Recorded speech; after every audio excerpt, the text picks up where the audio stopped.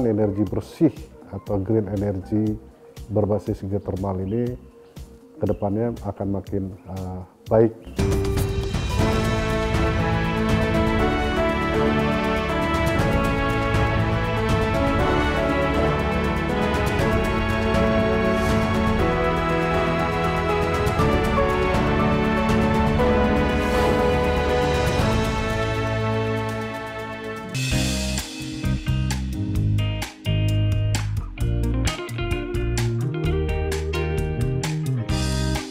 Gunung Kamojang, yang lebih dikenal dengan nama Kawah Kamojang, merupakan gunung dengan ketinggian 1730 meter yang terletak di perbatasan wilayah Kabupaten Garut dan Kabupaten Bandung.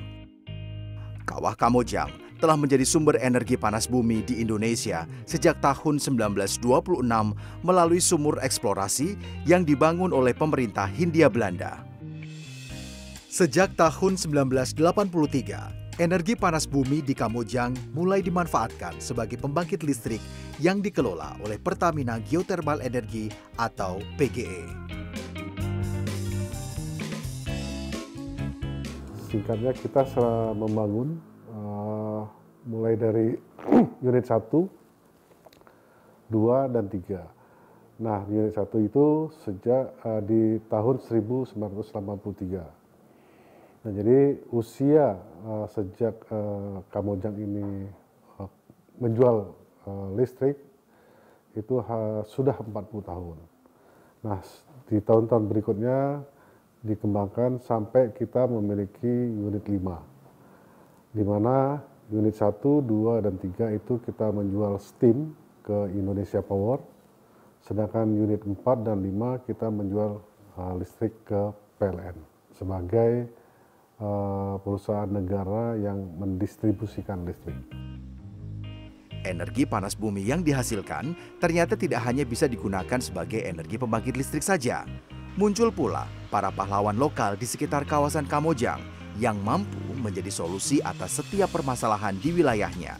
Salah satunya dilakukan oleh Muhammad Ramdan Reza Nurfadilah sejak tahun 2015 Dirinya mengembangkan sebuah proses fermentasi dan pengeringan biji kopi yang memanfaatkan uap panas bumi. Sistem ini mampu menghemat waktu penjemuran serta biaya operasional. Reza menceritakan bahwa proses fermentasi dan pengeringan biji kopi dilakukan di sebuah ruangan bernama geothermal dry house yang dialiri uap panas bumi dengan suhu mencapai 50 derajat Celcius. Uap yang digunakan merupakan sisa produksi yang biasanya terbuang. Artinya, sistem ini juga mampu mengurangi emisi karbon per tahun menjadi 4 ton setara CO2. Kita tuh bisa lebih cepat dan lebih efisien dibanding yang konvensional. Jadi kalau misalkan konvensional tuh dia butuh waktu sampai 30 hari pengeringan. Kita di sini hanya butuh waktu paling lama 10 hari saja. Jadi dengan waktu dan biaya yang sama kita bisa menghasilkan output tiga kali lipat. Selain memiliki manfaat dalam efektivitas dan lingkungan, geothermal coffee process juga berdampak besar terhadap petani kopi. Dengan biaya produksi yang lebih kecil, maka para petani kopi bisa mendapatkan keuntungan yang lebih besar dibandingkan cara konvensional. Salah satunya dirasakan Nono Supriyatno, Petani yang sudah 15 tahun berkecimpung pada tanaman kopi ini sangat merasakan perbedaan harga beli kopi melalui proses geotermal. Keuntungannya memang eh, yang dirasakan sama saya itu memang uh, kopi juga bisa dibeli sama uh, kelompok itu bisa lebih mahal karena proses prosesnya lebih murah dibanding konvensional. Dari sisi cita rasa, kopi ini juga memiliki cita rasa yang khas dan dapat diterima oleh semua kalangan pecinta kopi. Rasa naturalnya betul-betul terasa, arabikanya betul-betul terasa. Nah, semuanya lengkap ada di kopi Canaya yang proses dari geothermal ini. Kalau saya sendiri di pahitnya, eh, di pahitnya memang yang alami, mungkin buat saya itu. Nggak tahu kalau yang lainnya karena memang juga saya baru senang kopi itu setelah anak saya di kopi. Jadi saya juga minum kopi yang tanpa gula. Eh, itu kayaknya lebih lebih enak gitu ya.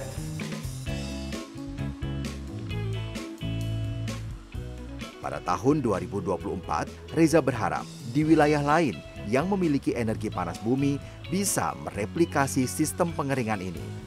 Selain itu, kopi juga akan diekspor ke negara Jepang sebagai salah satu upaya memperkenalkan sistem pengeringan menggunakan energi panas bumi ke negara lain.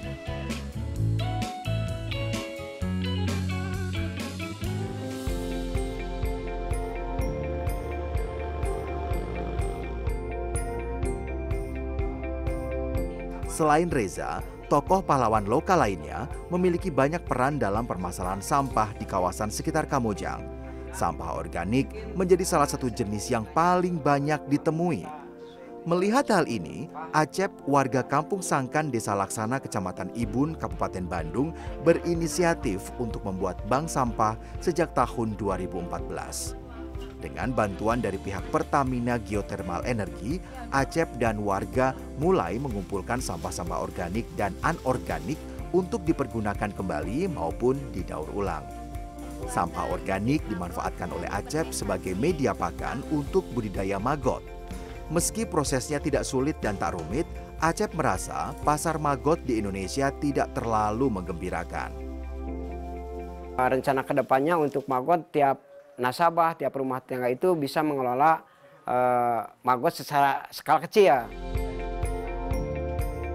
Meski demikian, secara keseluruhan Acep melihat semakin lama volume sampah yang dihasilkan masyarakat sudah semakin menurun dari angka 1 ton per bulan hingga saat ini hanya sekitar 100 hingga 200 kg per bulan. Ini merupakan tanda bahwa masyarakat sudah mampu memilah sampahnya sendiri. Penanggulangan sampah bukan hanya dilakukan oleh Pak Acep dan ibu-ibu dari Bank Sampah Sangkan Amanah. Sekelompok anak-anak muda juga memiliki inisiatif yang sama dengan cara yang sedikit berbeda. Hildan Wiranata, pemuda berusia 19 tahun ini membentuk kumpulan .id yang bergerak bersama sebuah aplikasi lokal bersama Rangers App untuk mengumpulkan sampah terutama jenis anorganik dari rumah-rumah warga. Melalui aplikasi tersebut, warga bisa menjual sampah mereka yang langsung dikonversi menjadi uang digital atau e-money. cuman perlu registrasi terlebih dahulu terus uh, ada kan itu nomor membernya uh, ketika abangnya udah punya sampah sekitar 5 sampai 6 kilo semisal kita yang ambil terus langsung uh, mau ditarik cash ataupun langsung dikonversi ke saldo di dalam satu aplikasi Ranger itu uh, langsung to cash kayak gitu Pak. Aplikasi Rangers App dan Kumpulin yang dikembangkan sejak 2019 mampu mengumpulkan 590 kg sampah. Setiap tahun terus meningkat dan mencapai 1.146 kg pada tahun berikutnya. Saya juga gak nyangka gitu ya. Bisa sehari bisa tembus 801 M penjualan sehari. Perlengkapan bayi loh.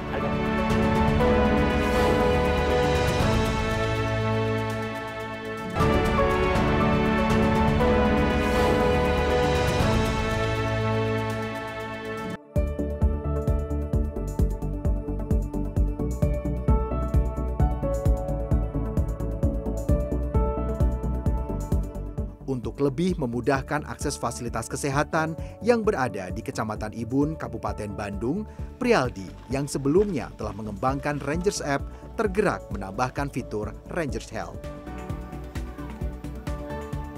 Rangers App merupakan sebuah platform transportasi online bagi masyarakat yang berada di sekitar wilayah Kecamatan Ibun. Selain jasa mengantar penumpang dari satu titik ke titik lain, Rangers App juga memiliki layanan pesan antar makanan, belanja, serta penjemputan sampah.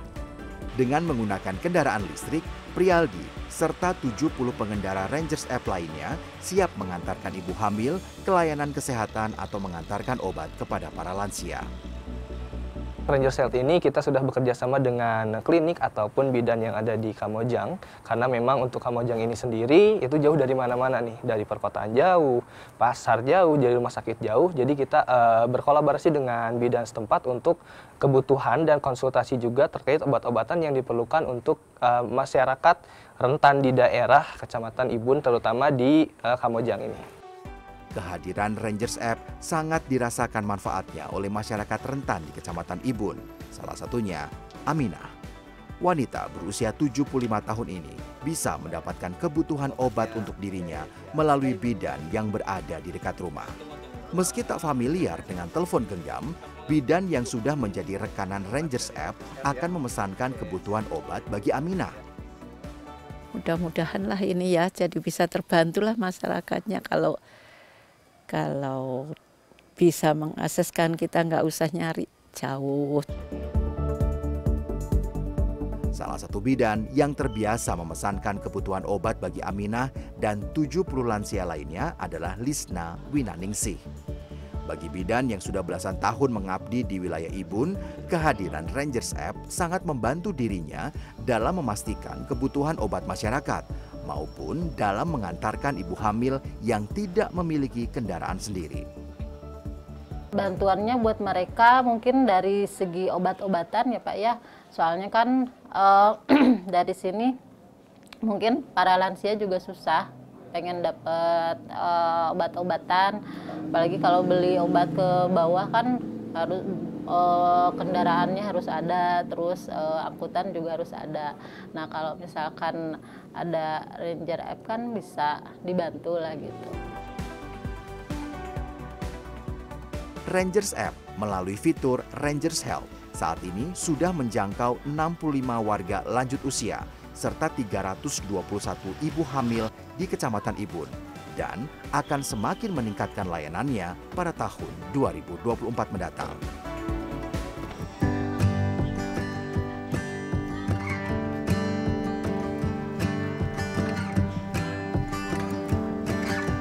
Anak-anak muda lainnya di Kecamatan Ibun juga menciptakan sebuah layanan e-commerce yang fokus dalam penyediaan kebutuhan ibu hamil dan balita lewat Ibun Mall. Awalnya, saat didirikan pada tahun 2021, mereka berjualan lewat aplikasi TikTok Shop. Namun, setelah operasional TikTok Shop dihentikan, mereka tetap melayani pembelian melalui layanan marketplace lainnya seperti Shopee dan Tokopedia.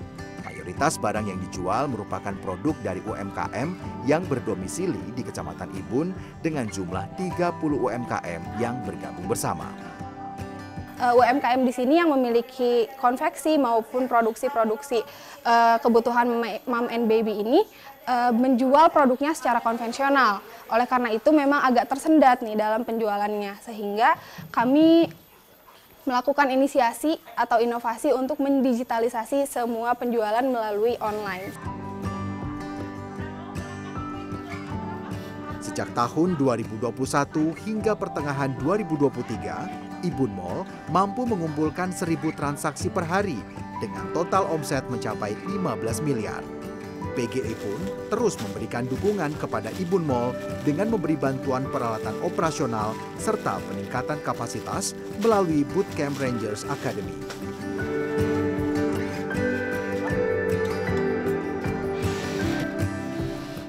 Ibun Mall emang luar biasa loh.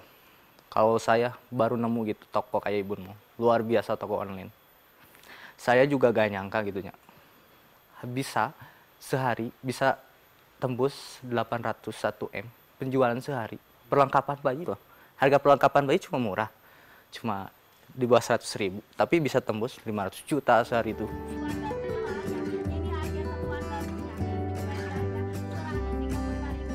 Kesuksesan Ibun Mall tidak terlepas dari para penjual yang melakukan penjualan melalui siaran langsung di aplikasi marketplace dan social market.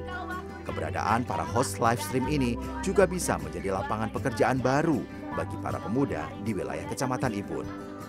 Zoya Safir, wanita berusia 21 tahun misalnya, bergabung bersama Ibun Mall sejak enam bulan yang lalu. Dirinya bercerita bahwa saat awal masuk, ia belajar mengenai skill berjualan, attitude, serta public speaking kesulitannya ada. Kesulitannya pertama kita uh, masih malu-malu dalam public speaking.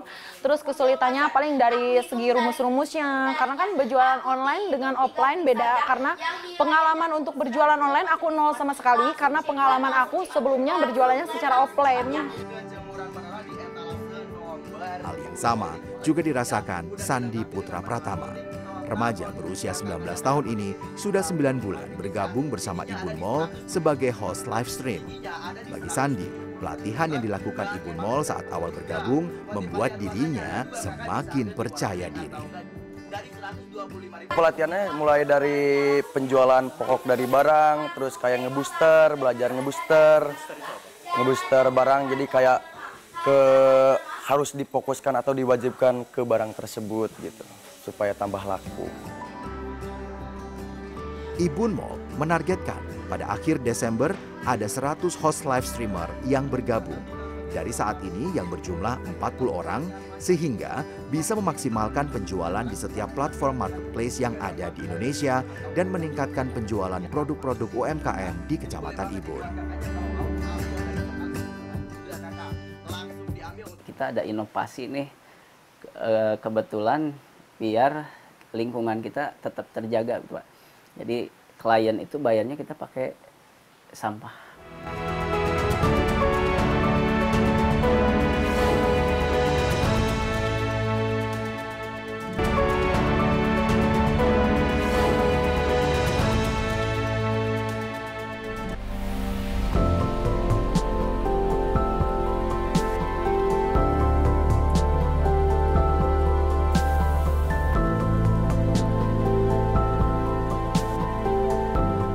Permukiman di wilayah sekitar Gunung Kamojang, terutama wilayah Kecamatan Ibun, tidak seluruhnya mampu menerima sinyal telepon seluler.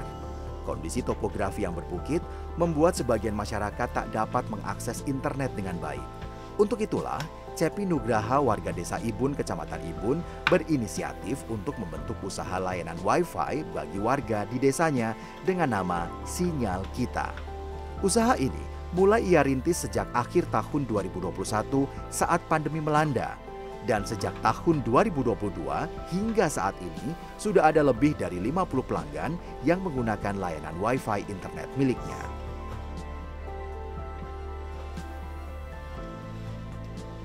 Di sini memang orang-orang itu kalau misalnya mau komunikasi harus turun dulu ke Paseh. Harus turun ke bawah, ke kota lah kalau sekarang kan efeknya tuh jadi di rumah. Bahkan beberapa klien kita yang tadinya usahanya offline itu sekarang mengacu ke online shop. Jadi ada ada dampaknya berkat ada internet itu. Kalau di kita ini kita ada per bulan ada Pak, kemudian ada per hari ada.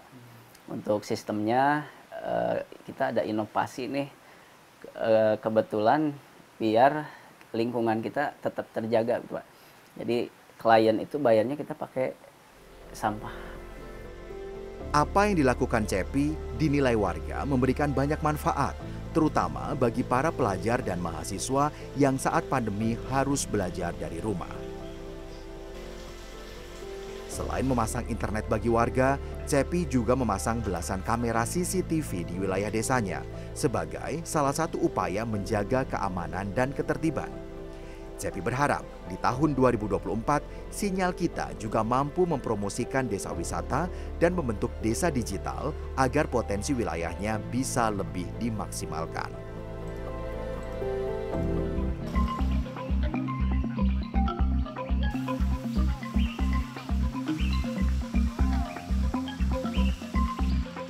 Selain memiliki kontur berbukit, Daerah sekitar Gunung Kamojang juga dikenal subur dan cocok ditanami berbagai tanaman. Untuk itulah, seorang tokoh penggerak pertanian di Kampung Legok Pulus, Desa Sukakarya, Teti Setiarum, memilih untuk mengajak para wanita, terutama ibu-ibu di wilayahnya, untuk memanfaatkan lahan di sekitar rumah mereka untuk bercocok tanam. Wanita berusia 54 tahun ini kemudian membentuk kelompok wanita tari Mekarsari untuk menggarap lahan perkebunan seluas 1.400 meter persegi serta 140 meter persegi lahan pekarangan. Hasil kebun dan tanamannya memang belum banyak dijual, tapi sudah mampu untuk memenuhi kebutuhan sayuran anggotanya. Selain itu, mereka juga sudah mampu membuat produk pangan olahan dari ubi ungu serta kulit singkong sebagai usaha selanjutnya. Ibu mau memperbesar itu olahan ya, olahan eh, mau bikin eh, yang kemasan kecil ya. Mudah-mudahan dari sampah juga itu yang dari pupuk organiknya bisa bernilai ekonomi tinggi. Jadi ibu-ibu semangat. Iya, mm-mm.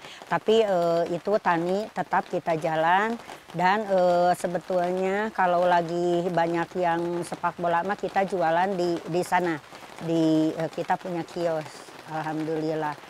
Nah, eh, jadi eh, mudah-mudahan ke depan eh, dengan eh, PT PGE yang selalu eh, support kita eh, KWT mudah-mudahan eh, tambah hebat. Tokoh pahlawan penggerak lainnya di kawasan Kamojang adalah Yani Suryani. Wanita berusia 42 tahun ini menjadi tokoh di kawasan Sudi yang bergerak di bidang kesehatan dan pendidikan, terutama bagi anak-anak berkebutuhan khusus. Yani berhasil meyakinkan 14 anak-anak istimewa dan orang tuanya untuk mendapatkan terapi khusus yang dilakukan oleh ahli dalam proses pembelajaran mereka. Yani bercerita, awalnya cukup sulit untuk mengajak para orang tua mengajak anaknya untuk mendapatkan terapi EduPlay. Namun, berkat upaya dirinya dan para kader, mereka akhirnya bersemangat untuk ikut mendapatkan terapi sekali dalam satu minggu. Jadi kita nggak langsung merangkul anak-anaknya, orang tuanya dulu. Soalnya ya gitu, orang tuanya banyak yang mungkin itu mindsetnya ya belum terbuka, belum belum menerima intinya, belum menerima bahwa anak saya mah apa-apa, normal anak saya mah. Nanti juga sembuh gitu, kebanyakan yang gitu. Tapi sebagian juga ada yang mengerti diikutkan program seperti ini. Alhamdulillah bersyukur sekali Bu Kades. Saya mau terus selamanya ada program ini.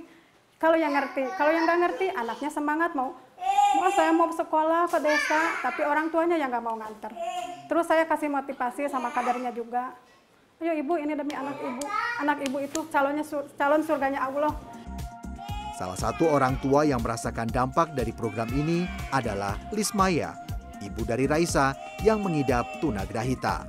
Lismaya bercerita, sejak ikut dalam program yang diinisiasi PGE Area Kamojang, PKK Desa Sudi, dan Yayasan Cimara, banyak perkembangan yang ditunjukkan Raisa. Juga ada perkembangan dari segi motorik gitu ya. Alhamdulillah ada perkembangannya gitu dari sebelumnya.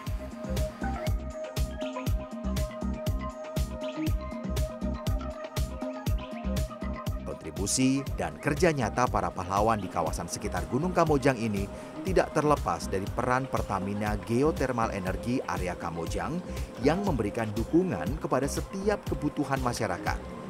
Bagi PGE, setiap program yang dilakukan oleh para pahlawan lokal bagi pemberdayaan masyarakat dan lingkungan akan mampu menciptakan ekosistem yang baik saat ini hingga masa yang akan datang. Di dalam program ini, kenapa kita uh, membangun ekosistem? Karena kita melihat potensi di masyarakat yang begitu beragam dan kebutuhan uh, masyarakat juga yang uh, beragam juga. Nah sehingga kami berpikir uh, bagaimana uh, kalau kita menjadikan program-program uh, setiap uh, kelompok masyarakat UMKM itu bisa terintegrasi pada saat kita sedang uh, fase transisi energi menuju pemakaian energi bersih. Oleh karena itu ekosistem ini sangat penting dan kami percaya dan yakin bahwa penggunaan energi bersih atau green energy berbasis geothermal ini ke depannya akan makin uh, baik dan dampaknya program-program yang kita lakukan karena sudah terintegrasi itu juga akan bisa meningkatkan dari sisi kualitas dan kuantitas. Dalam 5 sampai 10 tahun ke depan, PGE yakin akan tercipta sebuah komunitas di wilayah sekitar Kamojang bahkan sampai ke wilayah Bandung yang semakin sadar tentang pentingnya menjaga lingkungan melalui transisi ke energi bersih, pemberdayaan masyarakat, perlindungan terhadap lansia, ibu hamil, kaum disabilitas, serta peningkatan kapasitas sumber daya manusia melalui digitalisasi.